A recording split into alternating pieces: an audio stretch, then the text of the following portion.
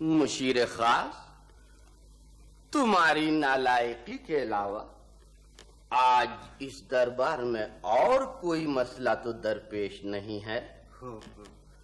मैं क्या अर्ज़ कर सकता हूँ आलीजा? ये वज़ीर मुंतजमी अर्ज़ करेंगे। मुकदमों का वक्त हो गया हुजूर वाला। क्या आप इंसाफ पर तवज्जो फरमाएँगे? क्यों नहीं?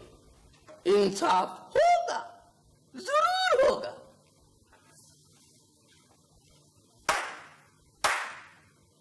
मुलजिम को हाजिर किया जाए।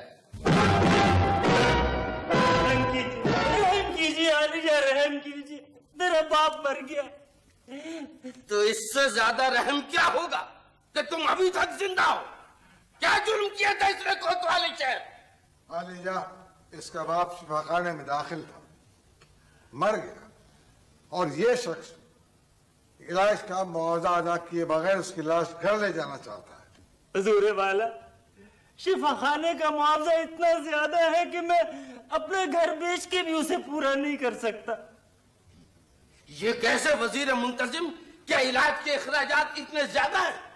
हुजूर वाला दवाओं की कीमतें बढ़ती जा रही हैं और म्यार घटता जा रहा है। बीमार आखिर क्या करें? कहाँ जाएँ? शहनशाह माजम इस पर एक शेर फिल बदी मौजू हो गया है। अर्ज़ करो। दवाओं का रुख आसमां की तरफ़। दवाओं का रुख आसमां की तरफ़। तो बीमार जाएँगे जेरे ज़मीन। खूब बहुत खूब। आलिजा ये बीमार लोग सरकारी शिफाखाने से दवा क्यों नहीं लेते? बंदा पर्वत सरकारी शफाखाने में दवा हो तो ले भी हज़ारों गरीब कतारों में खड़े होते हैं और उनकी बारी नहीं आती। और बारी आती है तो मतलूबा दवा नहीं मिलती। कहते हैं, बाहर से खरीदो। दवाएँ क्यों नहीं होती शफाखाने में? इसलिए कि वो मिली भगत से बेच दी जाती है हुजूर वाला।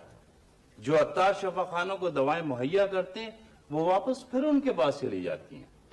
आलिजा बीमारों की इसी परेशानी के पेश नज़र मैंने मुल्क में निजी शफाखाने कायम कराए। शाबाश!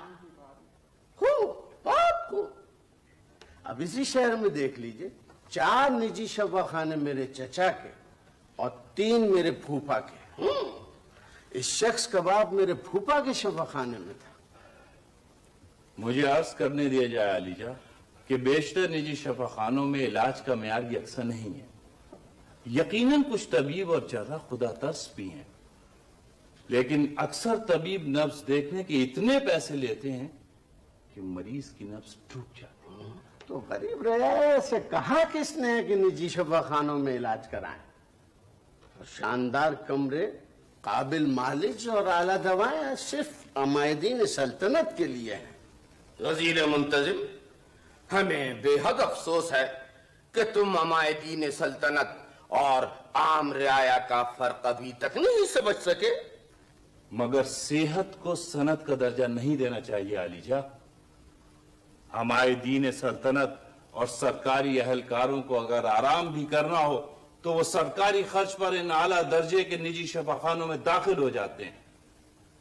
और गरीब आदमी को तपे देखो हो या सत्तान वो बारामदों में ज़मीन पर से सकता है उसे बिस्तर भी नहीं मिलता। क्या चाहते हो तुम।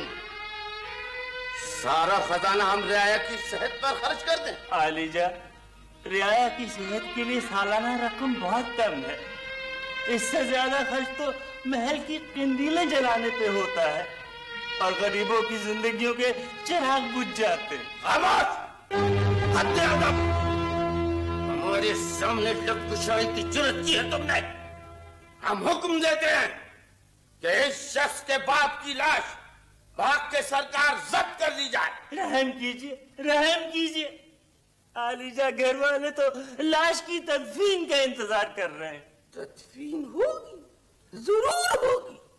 दफन करने के लिए तुम्हारे घर वालों को तुम्हारी लाश मुहैया की जाएगी। नहीं ये सुन आली जाए ये सुन ये सुन ले जाओ ले जाओ इसे।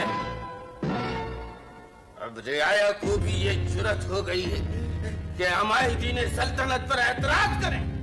रहम कीजिए आली रहम।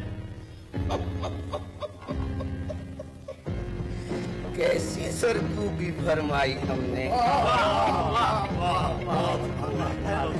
सरकशों के साथ ऐसा ही इंसाफ होना चाहिए क्या इंसाफ।